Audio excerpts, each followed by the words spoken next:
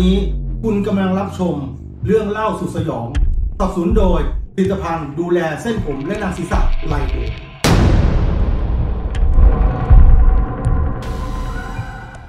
คุณพัดหมอผีครับ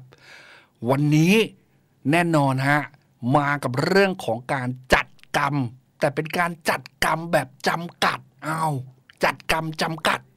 งงเลยฮะ ไม่รู้ว่าเป็นยังไง ซึ่งเรื่องนี้นะฮะคุณพัดบอกว่าเขานะ่ะอยู่ในเหตุการณ์ด้วย ที่สำนักแห่งหนึ่งแล้วกันนะ ในเขตกรุงเทพมหานคร เมื่อสิบกว่าปีที่ผ่านมาฮะจัดกรรมจำกัด โอ้โห ตอนนี้คุณพัดอยู่ในสายเป็นที่เรียบร้อยครับ เดี๋ยวเราจะไปรับสายคุณพัดพร้อมๆกัน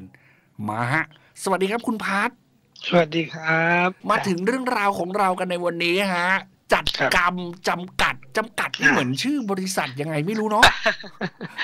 ใช่ใช่ใช่เพราะฉะนั้นต้องให้คุณพัดหมอผีมาอธิบายแล้วฮะ เรื่องราวที่บอกว่าสิบกว่าปีที่ผ่านมาเนี่ย มันเกิดอะไรขึ้นฮะ คุณพัดครับ ก็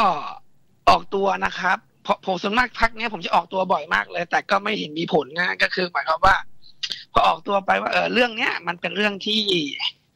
ต้องใช้วิจารณญาณค่อนข้างสูง นี่นี่นี่อ่า เพราะว่า อ่า ถ้าคนที่ต้องบอกเลยว่าโลกสวย อ่า เขาก็จะมองไปอีกมุมหนึ่ง คนที่กำลังประสบเหตุอยู่ก็จะมองไปอีกมุมหนึ่งอืมอ่า มันเป็นมันมันจะมีมีแค่เส้นขั้นกลางครับๆอ่า เพราะฉะนั้นอะขอย้ำว่าใช้วิจารณญาณในการรับฟังครับ นะครับ รับฟังอย่างมีสติใครไม่ชอบก็เลื่อนผ่านนะอันนี้บอกก่อนเลยเออเออนะครับ ก็คือเรื่องเนี้ย มันเกิดขึ้นเนี่ย เมื่อสักสิบปีที่แล้วก็แล้วกันนะครับ ก็คือเป็นผมเนี่ย ได้ไปเรียนวิชาอยู่ที่สำนักสำนักหนึ่งครับนะครับ เป็นวิชาที่เรียกว่ากันเรียกกันว่าเป็นวิชาเดรัจฉานวิชาละกัน อืมอ่า ก็คือเป็นวิชาสายดำอ่า ในในความคิดคนทั่วไปนะครับอ่าเป็นวิชาสายดำแล้วก็ไม่ต้องไม่ต้องดราม่านะครับว่าไอ้ยผีไม่โบ๊ะบะไม่ไม่ไม่ใช่ เป็นเป็นเกี่ยวกับเรื่องของวิชาอาคมด้วยเนี่ยนะครับ ทีเนี้ยเมื่อไปเรียนนะครับ ก็มีเคสที่มาให้อาจารย์ท่านทำอืมนะครับ เป็นเคสเคสหนึ่งซึ่งต้องบอกก่อนว่าอ่าเรามาขยายคำคคำว่าเดรัจฉานวิชาหรือมนต์ดำวิชาสายดำก่อนคือ วิชาที่ทำลายล้างคน สาบแช่งทำลายทำร้าย อ่า เขาก็จะจัดอยู่ในมนต์ดำสายดำอืมอ่านะครับ แต่ถ้าเดี๋ยวผมค่อยมา อ่า ขยายทีหลังตอนจบดีกว่านะครับ อ่า ทีนี้เสร็จเนี่ยก็ พอผมไปเรียน เราก็เห็นมันก็มีเคสเคสหนึ่งที่มาให้อาจารย์ท่านทำเนาะเราก็พอดีเรียนแล้วก็มีตัวอย่างมาให้ดูเลยนะ ก็เรียกว่า พอดีนะครับ เราก็ไปเรียน พอมีเคสมาก็ปรากฏว่าเคสเคสเนี้ย ก็เป็นเคสที่อ่ามีคนมาให้ทำเป็นเป็นคนไทยอืมนะครับ เป็นคนไทยผัวเมีย แต่ว่าเหมือนกับไปทำธุรกิจอยู่ที่ประเทศจีนอ่าแล้วปรากฏว่า โดนโกงอืมโดนโกงประมาณสักสิบล้านได้ อืมอ่าโดนโกงประมาณสิบล้าน ก็มีการไปทวงกันอะไรกันเนี่ยแหละครับพี่ ปรากฏว่าพอไปทวงเนี่ยนะฮะก็ไม่ให้ ไม่ให้ คนที่ที่ที่อยู่ที่ต่างประเทศก็ไม่ให้อืมไม่ให้แล้วก็เหมือนเพราะเขาเป็นมาเฟียเป็นคนที่มีอิทธิพลน่ะ ครับ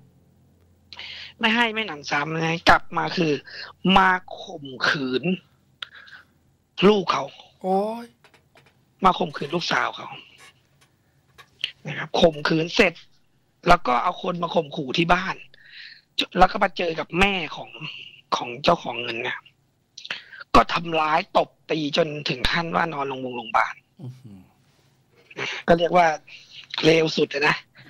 อืมอ่า แล้วโอ้โหแล้วทีนี้คนทำธุรกิจเนาะโดนโกงเงินลูกโดนข่มขืนแม่โดนทำลาย ชีวิตครอบครัวก็แย่ เพราะว่าเงินหมดเหมือนกันเอาเงินไปลงทุนครับ ก็ไม่รู้จะหาหนทางไหนละพี่นึกออกไหมก็กฎหมายใช้กฎหมายเลย ปรากฏว่าใช้กฎหมายก็ทำอะไรเขาไม่ได้อีก ด้วยความเป็นคนเป็นผู้มีอิทธิพลนะนะอืมซึ่งซึ่งต้องบอกว่าใกล้เคียงกับข่าวเว้ย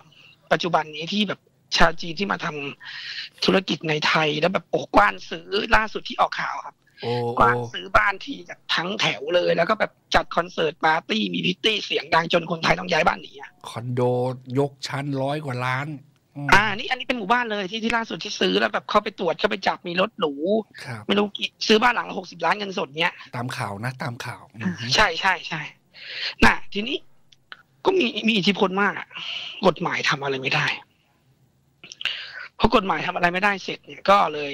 มา หาอาจารย์ผมครับ บอกว่าช่วยหน่อยได้ไหมเนี่ยจะทำยังไงได้บ้าง อืมนะ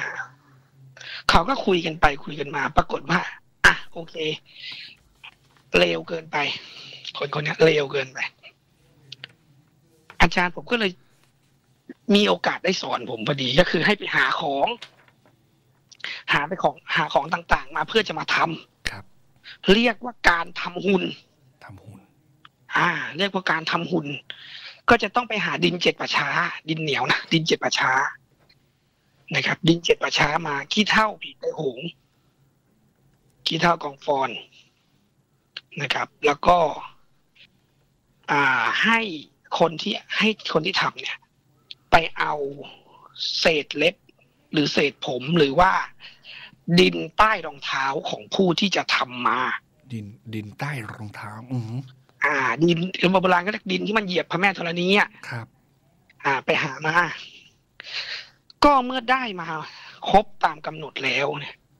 เราก็จะหาเป็นเพชฌฆาตเลิกษ์เพชรขาดแล้วอืมอ่า เพชฌฆาตเลิกษ์ในที่นี้คือ เลิกที่เป็นสิบสี่ค่ำนะฮะแล้วไม่มีสิบห้าค่ำเรียกเขาเรียกว่าเดือนขาดอืมคือสมมุติว่าขึ้นสิบสี่ค่ำหรือแรมสิบสี่ค่ำแล้ว แล้วเป็นขึ้นหนึ่งค่ำหรือแรมหนึ่งค่ำเลย ไม่มีสิบห้าค่ำเดือนมันจะขาดไปหนึ่งวัน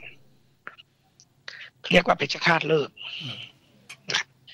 พอเมื่อได้ครบตามกำหนดแล้วเนี่ยฮะเขาก็จะแต่ก็เป็นวิธีที่เป็นวิชาอีกวิชาหนึ่งที่ค่อนข้างแปลกคือไม่ทำกลางคืนอ่าเขาทำกลางวันครับ เพราะว่าอาศัยเขาบอกว่ามันจะได้ร้อน แดดมันร้อนแรงอะไรอย่างเงี้ยนะโอ้โอ้โอ้อ่า เมื่อทำนะครับอ่าก็พอได้ของมาครบตามนี้แล้วเนี่ย อาจารย์ก็นัดวันพอกำหนดวันเสร็จปุ๊บก็ปั้นหุ่นพี่มันก็จะต้องทำในป่าช้านะอืม ก็ปั้นหุ่นแต่ว่าถามว่ามันไม่ได้ทำในเวลามืดก็จริงอะแต่มันทำในแบบรางวัลโกดังเก็บศพเนี่ยพี่ครับครับที่มีศพเก็บอยู่นะ คือเคสของวิชาพวกนี้คือต้องอย่างดินเจ็ดป่าช้าเนี่ย ก็จะต้องเป็นดินที่ป่าช้าที่เขาฝังศพไม่ใช่ป่าป่าช้าเผานะอืมต้องฝังศพมีศพฝังอยู่ที่มีน้ำเลือดน้ำหนองมันไหลซึมอยู่ในดินน่ะโอ้เข้าใจเข้าใจ อ่าเอามาทำอ่าเพราะฉะนั้นมันเดี๋ยวนี้มันทำยากเหมือนกัน หายากอ่าแล้วเสร็จเนี่ย ก็ปั้น มันก็ปั้นอยู่ในโกดังเก็บศพอะซึ่งก็มีศพอยู่อะไรสุด ด้วยทั้งกลิ่นทั้งอะไรอย่างเงี้ยอืมแล้วเราก็ไปกับอาจารย์นะเนาะอืมอืมอืมเราก็ไปไปดูศึกษาเรียน ปุ๊บก็ปั้น พอปั้นเนี่ยเขาก็จะมีบทคาถาว่าเป็นวิชาเขมรนะอ่าคาถาเนี่ยจะบอกแย้มๆอย่างเช่น มุกเกียเยียวัจนังแล้วตุ๊ดตุ๊ดตุ๊ดตุ๊ดตุ๊ดตุ๊ดคาถาเขาเนี่ยอืมร้อยแปดจบว่าคาถาไป ระหว่างที่ว่าเนี่ยพี่มันจะเกิดเหตุ เกิดเหตุคือเขาบอกว่าผีที่อยู่ในขี้เท่าผีไตโหงผีตอกที่เข้ากองฟอนเนี่ย มันจะมากวนอืมมันจะมากวนผู้กระทำพิธีนะอืมอ่า ซึ่งถามว่าจริงไหมจริง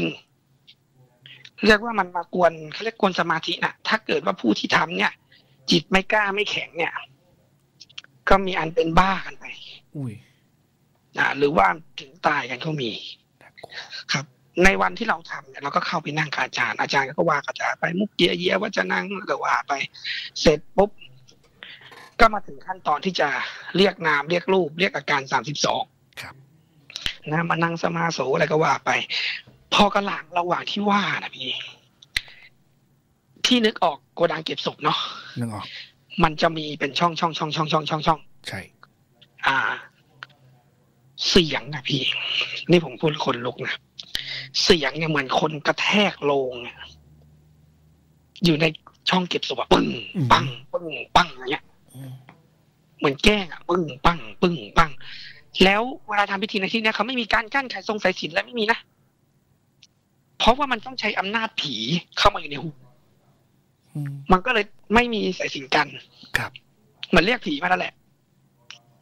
อ่า แล้วก็ ให้มาอยู่ในหุ่น ก็ต้องมีการบังคับขู่เข็นกันลงไปประมาณเนี้ยอ่า แล้วผีที่เอามาในผีไตโหงอย่างเงี้ยเสียงปึ้งปังปึ้งปังลมมั่งอะไรมั่ง เราก็แบบกลัวเนาะ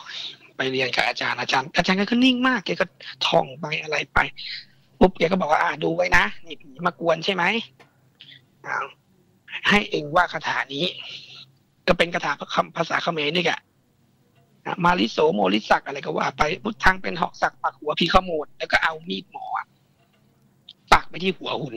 เออปักลงไปทำมังเป็นหอกสักปักหัวพีขโมดปักลงไป อะไรเงี้ยว่าพอปักอะพี่มันเสียงเลยนะเป็นเสียงแบบได้ยินกับหูเลยนะเสียงคนเนี่ยร้องโอ้ยโอ้ยอย่างเงี้ยอืมร้องมาจากในบริเวณที่เขาเก็บศพ เสียงทั้งเสียงทั้งกลิ่น แล้วรู้สึกว่ามีคนน่ะอยู่รอบตัวเต็มไปหมดเลยพี่เหมือนมันเดินเหมันมันมายืนมอง มันมืดอะนะ มีเทียนเล่มเดียวอะครับร้องโอ้ยโอ้ยโอ้ยอะพอข้ามขั้นตอนนี้ไปได้แล้วเนี่ย มันก็จะเงียบ เงียบเหมือนไม่มีอะไรเกิดขึ้นเลยนะครับ เสร็จแล้วก็เป็นหุ่นมาละพอเป็นหุ่นมาเสร็จก็กำหนดเพศ อ่ากำหนดเพศเขาจะมีคาถาว่ากำหนดเพศอีกร้อยเอ่อเจ็ดจบ แล้วก็ไหวบุญโสถอยหลังอีกร้อยแปดจบโอ้อ่านี่เขามีเป็นเป็นขั้นตอนการทำเลยนะไหนนะอืมอ่า พอเสร็จแล้วก็จะได้เป็นหุ่นพี่ครับเป็นหุ่นตัวหนึ่งที่เรียกว่า อ่า แล้วก็เอาอ่าทางภาษาพระทางภาษาอินเดียบาลีแล้วกัน ก็คือเกสาโลมานะขาทันตาตะโจ ผมขนเล็บฟันหนัง ส่วนใดส่วนหนึ่งก็แล้วกันฝนอืมอ่า ผมขนเล็บฟันหนังครับอ่าใส่ลงไปในหุ่น แล้วก็วันเดือนปีเกิดแปะลงไป ก็เท่ากับเป็นตัวของไอ้คนคนนั้นแหละอืมนี่นะซึ่งซึ่งผมผมผมส่งรูปไปให้ดูในใน inbox นะเดี๋ยวต้องไม่รู้ว่าทาง นี่ไงผมเปิดให้ดูเลย อะ ดูหน้าจอทาง YouTube ฮะ รูปปั้นที่คุณพัดพูดถึงอยู่นี่นี่ดูหน้าจอได้อะต่อเลยฮะคุณพัดนะครับ ก็จะเป็นเป็นหุ่นนะเป็นหุ่นที่เป็นดินเจ็ดป่าช้า เป็นขี้เท่าผีเป็นอะไรเนี่ยนะเสร็จแล้วเนี่ยว่าได้หุ่นนี้มาแล้วปุ๊บเนี่ยเขาก็จะเรียกว่าตอนเนี้ย อยากจะทำอะไรก็แล้วแต่นะก็ทำที่หุ่นเลยอ่าอย่างที่ให้ดูตัวอย่าง เนี้ย อันนี้คือเขาใช้เทียนลนเทียนหยดอืมหยดลงไปให้ทั่วหุ่นอย่างนั้นนะ นะครับ ระหว่างที่หยดเนี่ยมันก็จะมีคาถาเขาเรียกว่าองค์การ องค์การหยดว่าคาถาก็เป็นอย่างเช่นอ่าจะจะจะทำให้ตายก็ได้ครับ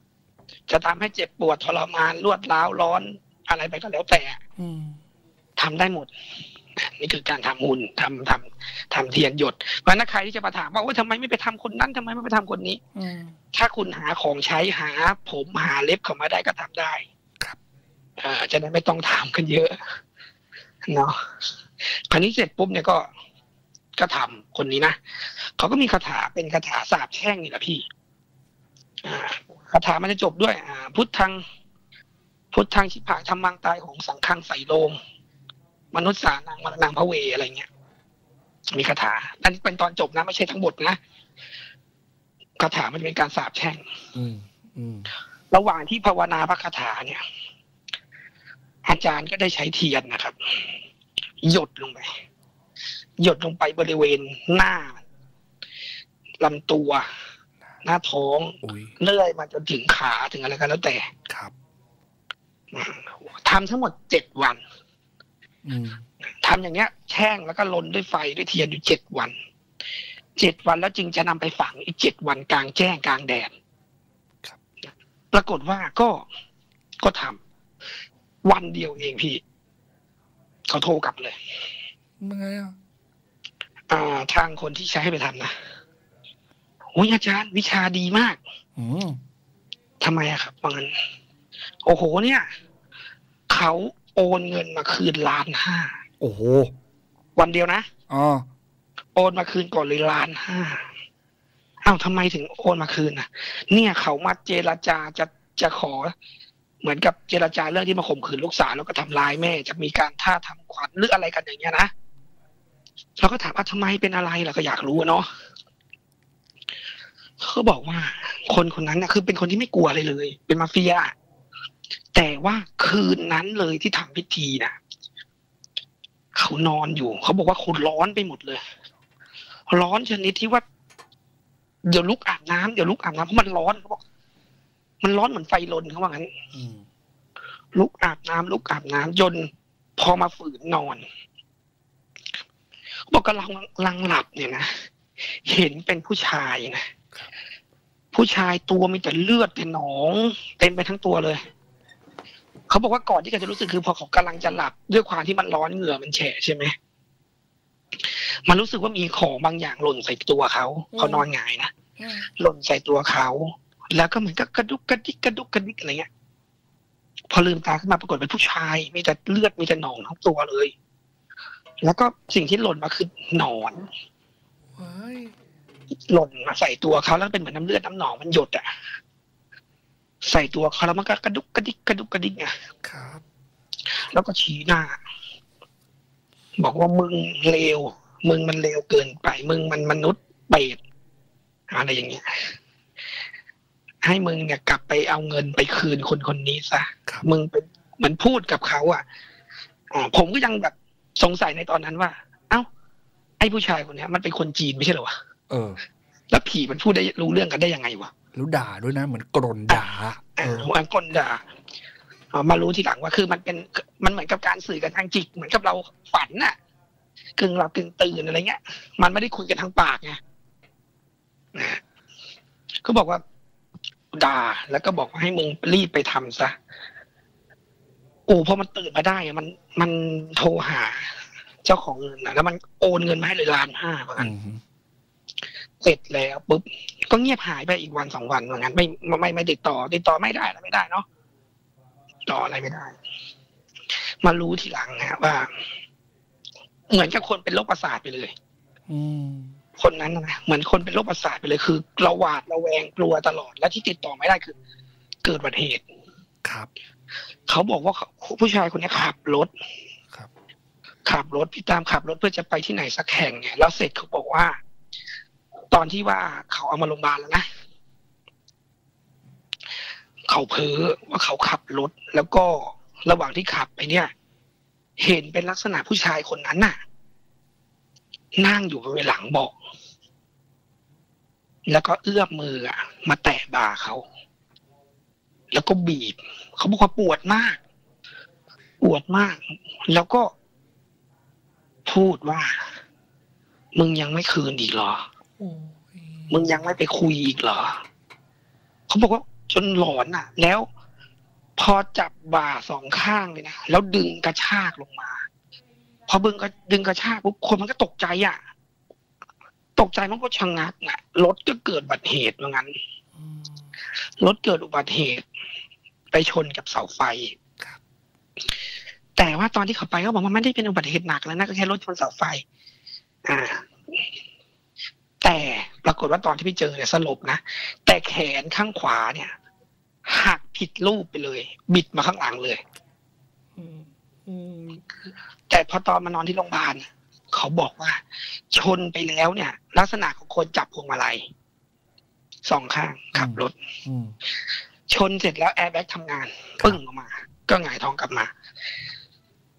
แต่เขาบอกว่าผู้ชายคนนั้นน่ะเอามือจับที่แขน แล้วบิดกลับไปเลยจับที่อืมอืมหักแขนเขา ครับหักแขนเขา แล้วก็พูดว่า ตอนที่มึงข่มขืนลูกเขาอะ มึงทำแบบนี้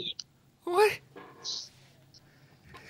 เหมือนจับมือไพ่หลังพี่นึกออกไหมนึกออกนึกออกอ่าจับมือไพ่หลังแล้วข่มขืน แต่อันเนี้ยเขาบิดไปข้างหลังแล้วหักคึกไปเลยอย่างเงี้ยหากผิดรูปด้วย อ่าหักเป็นรูปแบบตัวแอลหักขึ้นไปเลยอะลองเอามือไพ่หลังแล้วแล้วดึงขึ้นดูนั่นแหละหักผิดรูปเลยโอ้โหตอนนี้กลัวมากเลย ก็โทรถึงโทรมาเจรจาว่าจะขอรับผิดชอบเรื่องนั้นเรื่องนี้อ่าจนถึงขนาดว่าเป็นประสาทเลยนะพี่ครับคือนอนไม่ได้ นอนแล้วร้อน นอนแล้ว อ่า บางวันนอนเนี่ยเขาบอกเปิดแอร์เย็นเจี๊ยบเลยนะก็เหงื่อแตกไปหมด แล้วตามตัวเนี่ยเป็นรอยละอีกสิ่งหนึ่งที่เกิดคือ เป็นเหมือนขี้กากอะอืมขี้กากขี้เกลือนอะ หรือโบราณเขาเรียกไฟลามทุ่งขยุ่มตีนหมาอะไรประมาณเนี้ยเออมันจะขึ้นตามตัว ขึ้นเป็นจำจำจำขึ้นมาแล้วคัน แล้วแสบร้อน เป็นไปทั้งตัวเลย อ่า ที่เขาเล่าที่ที่คนที่เขาประสบนะที่เขามามาพูดนะแสบร้อนไปทั้งตัว แล้วบางทีก็เห็นเป็นผีผู้ชายเนี่ยมานั่งหน้าอกแล้วก็บอกว่ากูจะกินตับไตไส้ผึงใส่ไส้พุงมึงให้หมด อืมอืมอืมอะไรประมาณเนี้ย นี่คือสิ่งที่คนที่โดนเนี่ยเขาเจอครับ นะครับ ก็ปัจจุบันเนี่ยก็น่าจะได้คืนครบจนหมดแล้วเพราะมันผ่านมานานแล้วเหมือนกันอ่าอ่าสำสำหรับเคสนี้นะครับนะครับ ในเคสอื่น ๆก็มีเมื่อทำหุ่นแล้วก็ใช้ถ้าทำตายเลยก็คือ เอาเบ็ดเนี่ย เบ็ดตกปลาเนี่ย เกี่ยวเข้าไปที่หุ่นหรือว่าเกี่ยวที่ปากของปลาปลาดุก ถ้าเป็นคนทำของจะคิดเกี่ยวปลาดุกอืมเกี่ยวที่ปากเกี่ยวเอาเบ็ดเนี่ยใส่เข้าไปในปากปลาใส่ใส่ใส่เข้าไปแล้วก็เกี่ยวปิดปากมันเนี่ยคนที่โดนก็ตาย อืมอะมีเผาหุ่นใช้เบ็ด หรือว่าใช้เป็นตะปูลงผีเนี่ย ปักไปตามส่วนต่างๆของร่างกาย ของหุ่นนะก็จะเกิดอาการกับคนที่โดนเหมือนกัน ครับ ซึ่งวิชาเนี่ยเป็นวิชาเขมรน่ะเด็กแล้วก็แก้ได้ยากมากเออยกเว้นว่าจะได้หุ่นที่ทำนั้นนะมาแก้อืมอ่า เขาบอกว่าเปรียบดังว่า ถ้าไปอาบน้ำมนต์ก็เปรียบเหมือนเอาน้ำลดต่อไม้นะถึงแก้ไม่ได้ครับนะฮะนะสำหรับเคสนี้ก็เป็นลักษณะนี้ เคสอื่นๆก็จะเลื่อยลงมา ตามลำดับอืมถึงตายนะ ถึงจนถึงตายก็มีครับหรือมนต์บทเนี้ยคาถาบทเนี้ยสามารถที่จะเสกใส่ของที่เราเคยได้ยินกันเนาะคือบาดแตก เออเออเออบาดแตก ใช่อ่าบาดแตกซึ่งบาดแตกเนี่ยจริงๆต้องบอกว่า บาดสมัยก่อนมันไม่ได้เป็นแบบนี้ฮะ บาดสมัยก่อนมันเป็นบาดดินเผา มันจะแตกได้อืมอ่าก็จะเอาบาดแตกเศษบาดแตกมาเนี่ย ผสมกับอ่าบาดแตกแล้วสาแหลกขาด พี่พี่ตั้มรู้จักสาแหลกไหมสาแหลกเออสาแหลกสาแหลกเป็นเอ่อเป็นคนคนสมัยนี้น่าจะรู้จักยากยังไงอะมันคืออะไรอะสาสาแหแหลลกกคือ พี่เคยเห็นเวลาคนเขาหักของขายของไหมของหักเดี๋ยวนะคานหาบอะคานหาบอะอ๋อเออ เคยเห็น แล้วมันจะมีสายสายหนึ่งที่เป็นสี่สายที่มันลงมาแล้วอุ้มตะกร้าไว้สองอ๋อฝั่งเออเออเออนึกออกนึกออกสายที่ที่ที่ยาวลงมาอันที่มันเป็นหวายนะเขาเรียกสาแหลกอ๋อโอเค อือันนี้มอบไปเป็นความรู้นะเผื่อใครมีอย่าไปเก็บไว้นะครับ สาแหลกที่มันขาดแล้วอะขาดแล้วหนูกัดบ้างอะไรบ้างมันขาดอะอย่าเก็บไว้ในบ้านเด็ดขาด บาดแตกสาแหลกขาดจากบ้านล้างตัวนี้ จากบ้านล้างก็คือใบจาก ที่เขาเอามามุงหลังคาหลังคามุงจากอะอืมที่มันบ้านมันล้างอะครับ ที่มันมีคนอยู่มันล้างเลยเขาเรียกจากบ้านล้างชื่อมันพ้องว่าต้องจากบ้านจนล้างไม่มีใครอยู่ไม่ได้อย่างเงี้ยจากบ้านล้างอืมอ่าแล้วก็ขี้เท่ากองฟอนก็คือขี้เท่าที่เผาศพกองฟอน หรือว่าขี้เท่าผีแต่โหงนั่นแหละอืมถ้าจะให้ดีก็คือ ตายวันเสาร์เผาวันอังคารอืมขี้เท่าตายวันเสาร์เผาวันอังคารเอามาผสมสี่อย่างนี้แล้วก็ว่าองค์การบทนี้พระคาถาบทนี้แหละ แล้วจึงเอาไปซัดใต้ใส่ที่บ้านเขาอืมอ่าสำหรับเคสนี้ก็มีเรื่องเล่าอยู่นิดหน่อย ก็คือมีคนเขาทะเลาะกันเรื่องมรดกเรื่องที่นี่แหละ แล้วเขาก็มาเอาไอ้บาดแตกเนี่ยไปจากอาจารย์แล้วก็ไปซัดใส่ที่บ้าน ที่ที่ที่ตรงนั้นนะปรากฏว่าบ้านนั้นนะครับ มีอันต้องแตกแยกกันทะเลาะกันเรื่องเล็ก ๆ น้อยๆทะเลาะกัน อ่า ทำร้ายกันในครอบครัวครับ ยิงกันตายในบ้าน และคนที่ยิงก็ขับรถหนีออกไปปรากฏว่าก็ชนตายโหงอีกเหมือนกันโอ้คือที่มีอาถรรพ์มากจนปัจจุบันที่ผืนเนี้ย ผมยังรู้จักอยู่เลย แล้วกล้าท้าด้วยใครไปซื้อเนี่ยถูกๆเองแล้วอยู่ให้ได้นี่กล้าท้าเพราะว่าเขาซัดไว้ในที่เขาเขาโรยไว้ในที่อะอืมคนต่อมาที่มาเช่ามาซื้อมาอยู่ต่อมาทำของขายร้านทุกบาทร้านทุกอย่างยี่สิบอะไรอย่างเงี้ย ก็มีเหตุต้องทะเลาะเบาะแว้งกันนั่งกินข้าวกันอยู่ ทะเลาะกันแค่เรื่องกับข้าวแทงกันตายอย่างเงี้ยตายแล้วเอามีดแทงคอกันตายเลยอะครับ คนงานก่อสร้างมาอยู่ แท้งบ้างตีกันตายกันอยู่ตรงนั้น ไม่รู้เท่าไหร่ต่อกี่ศพแล้วนะอืม ก็แล้วถอนยากด้วย ถอนยากครับเนี่ย ก็เป็นเรื่องของของการทำเรียกว่า เดรัจฉานวิชากันละเดกันรัจฉานวิชา ซึ่งสมัยก่อนเนี่ยอ่าทางอาจารย์ผมเนี่ยก็ทำบ่อยทำบ่อย แต่ว่าก็โบราณในตามตำราที่รับเรียนมาเนาะครูบาอาจารย์ท่านก็สั่งไว้ว่า ถ้าน้ำตาไม่ตกถึงเจ็ดหน มึงอย่าทำมันบาปกรรมท่านว่าอย่างนั้นน้ำตาไม่ตกถึงเจ็ดหนอ่าแสมึดงงอย่าว่าทไม่ทำแบบ ไม่เขาเรียกว่าอะไรไง เหมือนกับถูกกระทำซ้ำๆอยู่อย่างนั้นอะเนาะำใช่คือหมดหนทางเนี่ยครับครับมึงอย่าทำอะไรอย่างเงี้ยเขาเขาก็จะมีคำคำเขาเรียกว่าคำสัตย์ปฏิญาที่เรารับจากครูบาอาจารย์มาเหมือนกัน แต่ต้องบอกว่าในสมัยก่อนนั้นเนี่ยเป็นเหมือนบริษัทจริง ๆ ตามชื่อเรื่องเลยครับ อืมอืมคือจัดกรรมจำกัดจ้ะอะไรที่รู้สึกว่า โอ้โหรอกรรมมันช้าเหลือเกิน อืม ก็จะมาใช้วิธีนี้ เรียกได้ว่าเป็นวิธีทางลัดเลยอะอ่า จัดกรรมจำกัดโอ้น่ากลัวนะ อ่าอ๋อเดรัจฉานวิชานะทีคนี้รับเรามาขยายตรงนี้หน่อยสำหรับคนที่จะบอกว่าโลกสวยกันแล้วกันเขาก็จะบอกว่าเอ้ยมันบาปกรรมทำไมไปยุ่งกับกรรมของเขาทำไมไป ไปทำอะไรเงี้ยทำไมไม่ปล่อยเป็นหน้าที่ของกรรมอืมเราต้องเข้าใจในหัวอกของคนที่โดนกระทำอะ ถ้าเป็นเราอะ โดนโกงสิบล้านลูกโดนข่มขืน แม่โดนทำร้ายเนี่ย จะทำยังไง แล้วกฎหมายทำอะไรเขาไม่ได้เงี้ยโกรธมากอะ โกรธโกรธสุดๆอะถูกไหมเออ ถูกไหมฮะ แล้วมันมีหนทางนี้มาเสนอคุณจะทำไหมล่ะนั่นนะสิจริง ๆ ก็ไม่ได้อยากถ้าจะเป็นผมนะผมก็ไม่อยากคิดร้ายหรอก แต่บางคนนะด้วยความเคารพไหว้เลย มันก็สมควรน่ะ อะก็ว่ากันตามเนื้อเรื่อง แต่มแต่ต้องบอกว่าในในในสมัยก่อนนะนะในยุคนี้ผมว่าน้อยละผมกล้าพูดแล้วมันน้อยคนที่จะทำอย่างนี้ได้นะ